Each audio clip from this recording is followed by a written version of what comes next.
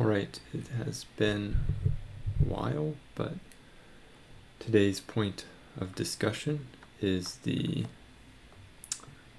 um, code sort of breakdown and overview of the recent paper reinforcement learning for quantum variational circuit optimization um, which I, I wrote as the solo author and um, it was sponsored or supported I guess by the Unitary Fund um, so I'll, I'll put that below so you can check that out too but basically what I'm just going to be doing is uh, as usual going over to code sort of understanding what's going on here. There's a lot of code involved. I'm not going to go over all of it, but sort of a representative sample of it.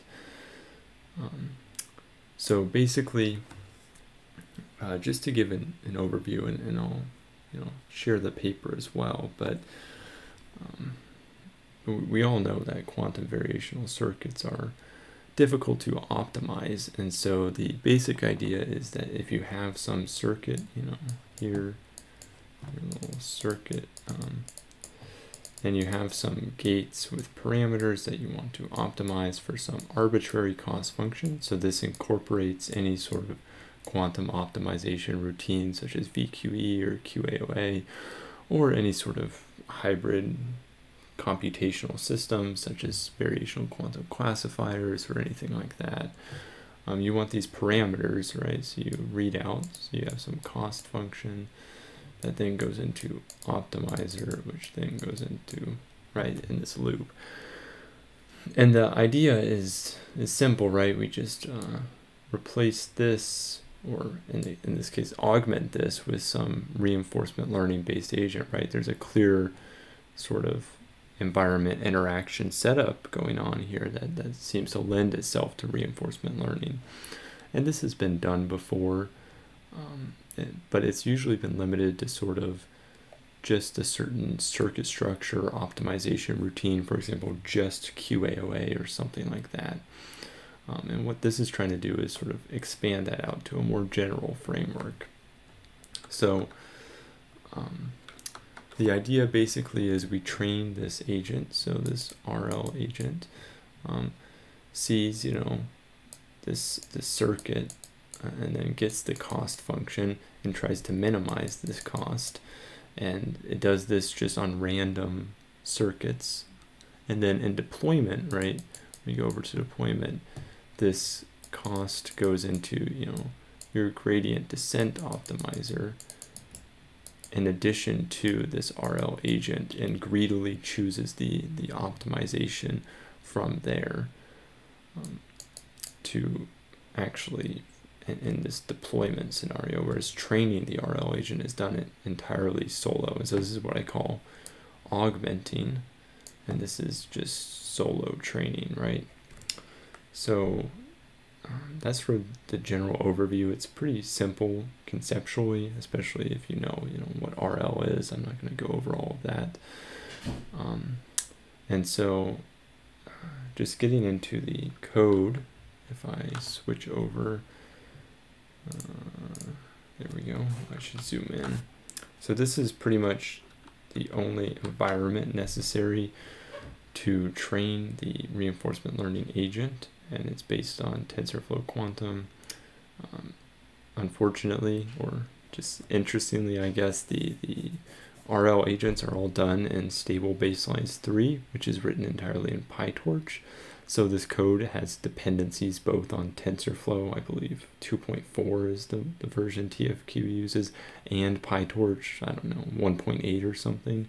So that, that's a suboptimal requiring dependencies on both of them. However, that's only true for training. For deployment, you can just use PyTorch. There's no need to use TensorFlow.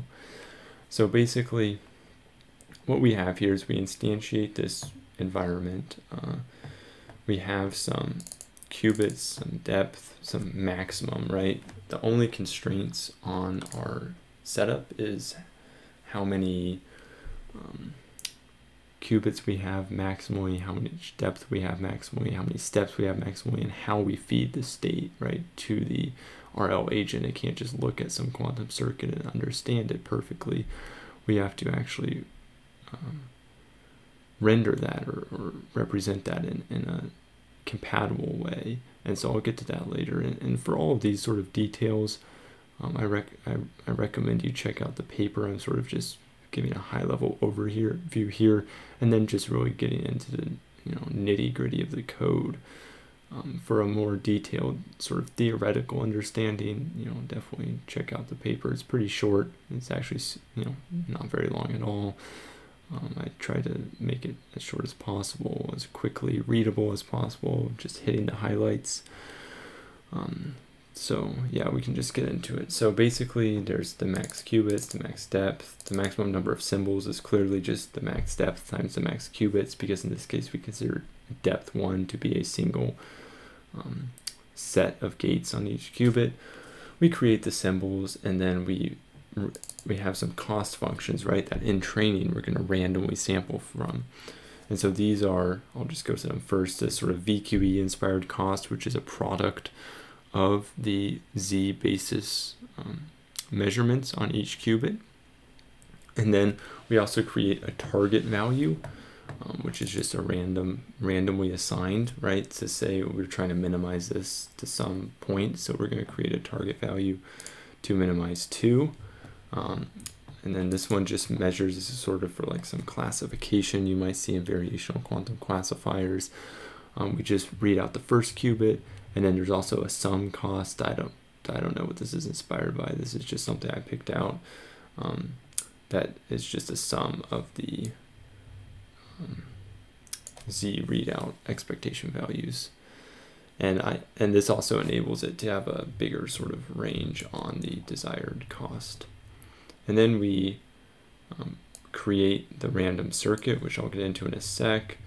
Um, we define the action space, which depends on nothing or only on our maximum symbols, right? The output of the RL agent is simply the um, the symbols or the, the, the weights or parameters or whatever you want to call them for the circuit. And it, it puts outputs for the maximum circuit size, we can deploy this on smaller circuits because in the input, uh, the, the RL agent sees how big the circuit is, and, and then we can just cut or, or you know take the first x values from this array, and then the um, the size of the encoding depends on what type of encoding we have, and I'll get to that once we reach that point. So first we create a random circuit so we randomly pick a, a number of qubits between 2 and however our max is. In the case of this work, it's 20 qubits, 20 depth, and 150 optimization parameters are the models I provide,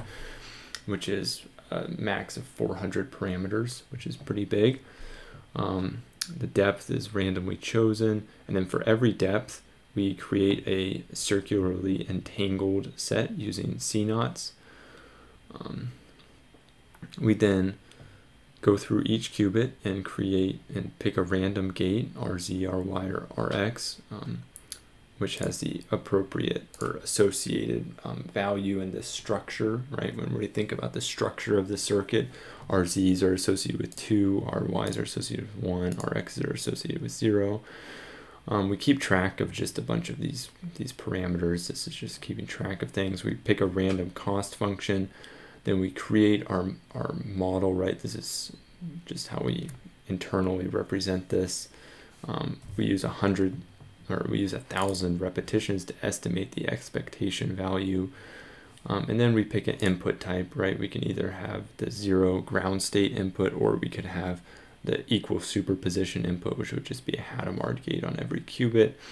And then so that's basically just how we randomly create the circuit pretty intuitive and straightforward um, to uh, get the, the each step right of the optimization procedure for each step of the environment interaction for the reinforcement learning agent is um, pretty simple. We take the action, which is just the parameters that the RL agent predicts for the quantum circuit. Um, we cut off if it's the maximum number of steps. We we set those parameters to be the weights of the parametrized quantum circuit. We get the error. Um, if it's a small enough error, we can be done. If not, then we increment the steps and return return the error as the loss or the negative error as the loss. And then we um, continue again. And so by error I all I use is right the mean squared error right here the negative that is a reward function. So um, minimizing you know a reward is the same or minimizing a cost function is the same as maximizing the negative of it which is you know exactly what we want to do. Um, in the case of you know some sort of supervised learning process. And reinforcement learning is always thought of as maximizing rewards which is why this is framed as a maximization problem. Okay now we get into the encoding technique so there's two sort of ideas we have um, you can see where they're taken from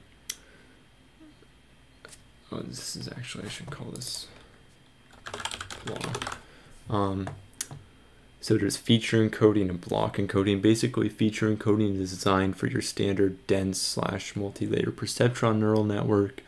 Block encoding is designed for your sort of CNN style.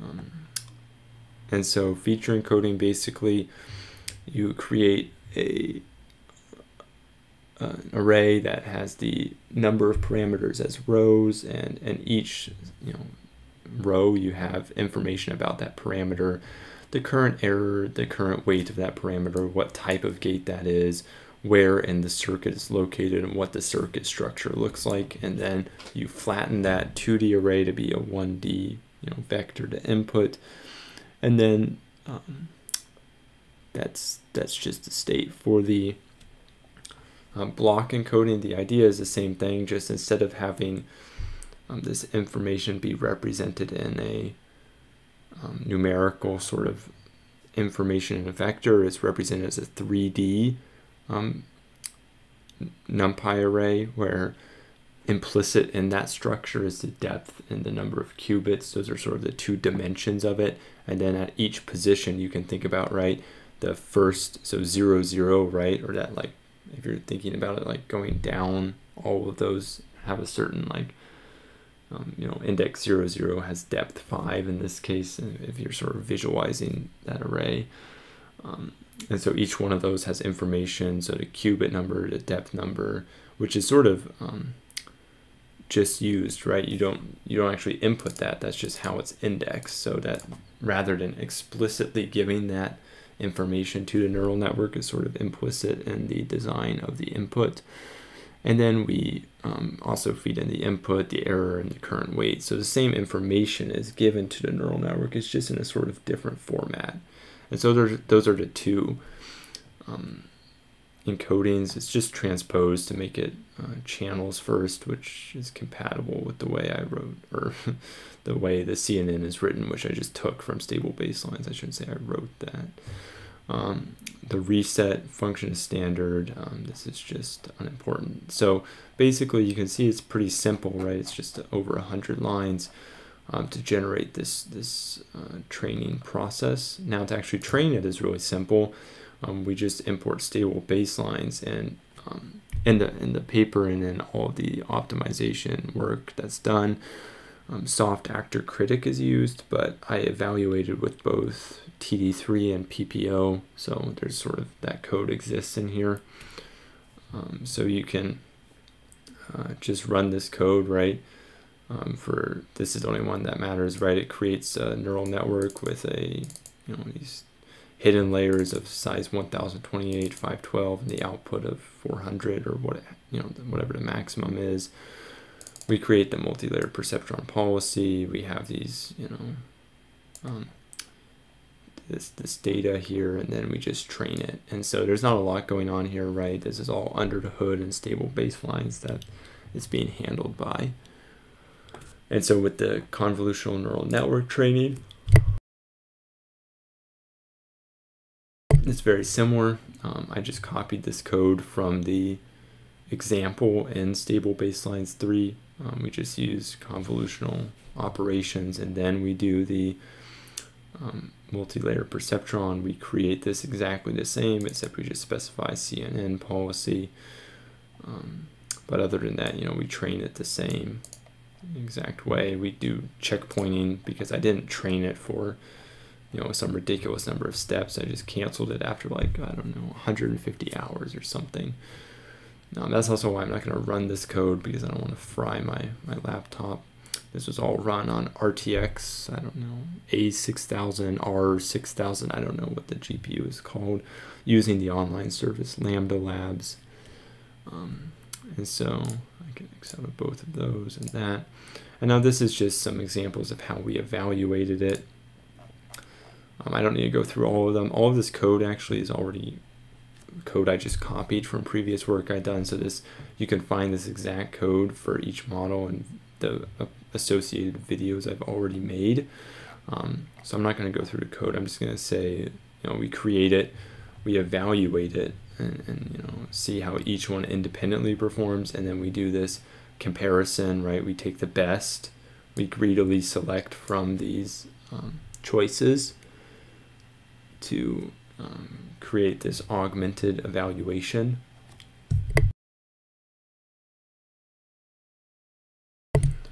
Which is um, which is how it's sort of meant to be used because it's um, you know such a complex problem that when we remove all of the, the, the constraints on it there's no I mean it's hard for RL to succeed so we sort of have to use it sort of as an augmenting rather than by itself so that's just what it looks like we can see QAOA is the same sort of style right um, you, I evaluated both with adjoint and parameter shift differentiation. I'll show the uh, the results maybe in just a second. Um, so all of this is already there. What I just want to get to, I mean, I can go through them, but they're all basically the same, right? We just create each, you know, model. We optimize using, you know, we just predict what the RL agent says and then we set the weights, we go through and we optimize. What I just want to show is briefly that it's basically the same for the noisy functions. We just have a, um, somewhere in here, uh, here we go. We just added some depolarizing noise to the circuit. Um, this is actually a pretty high amount of noise, so I'm not sure, you know, what the exact depolarizing noise is in, you know, real circuits, but it's pretty high, which is probably you know similar to near-term quantum devices. Worth noting here is that this you can see the loss functions in every case. It's not the training is sort of out of distribution or out of you know what our training setup was. This is sparse categorical cross entropy, which we did not train the RL agent on, but it still works because it's sort of just trying to minimize this the difference between the target cost and, and, its, and this the self. And so you can sort of think of the way I understand the RL agent is acting as sort of like an annealing process, right? Um, it jumps around because it doesn't know a lot about the, the circuit. It just knows its structure, but right, if it's trying to minimize this sparse categorical cross entropy, which it hasn't seen before, then you know it's going to take a step in a direction, realize it's bad, go the opposite way, and sort of figure its way out. So it's not really, I don't like to think of it as as as smooth as a um, gradient sort of optimizer where it's always taking a step in the right direction. It takes lots of steps in right and wrong directions before sort of trying to find the goal, right? It was trying to do is the, the optimal policy in this case would be to find a global optimum on step one, which would be, well, not even a global optimum, but the perfect solution, which may or may not even exist, to be honest, for the given circuit, right? The, the global optimum might not even be good enough, but the the optimal policy would be to find a global optimum on step one. So it's sort of um, that's sort of like how how I think about it is is this annealing process rather than a gradient optimization procedure. Um, and so that's basically all the training. If you want to deploy it, I have these models saved online. I'll just go over that real quick. Um, we can see that this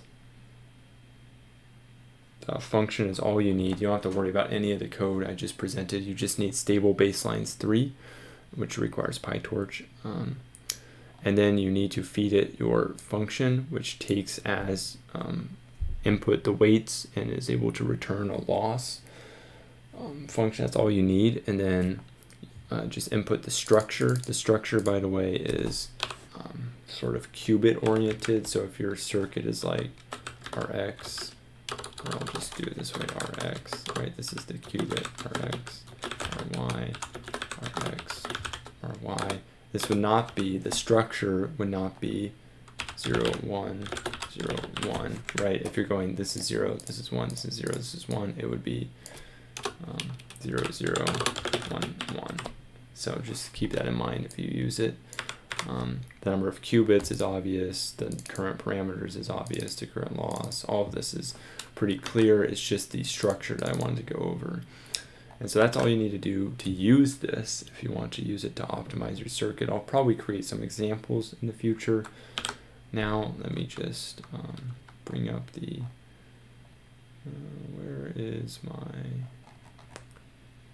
hmm, I don't remember where I, I remember where I saved this paper to. I should probably move it to the, um, oh, right, right, right, I know where it is.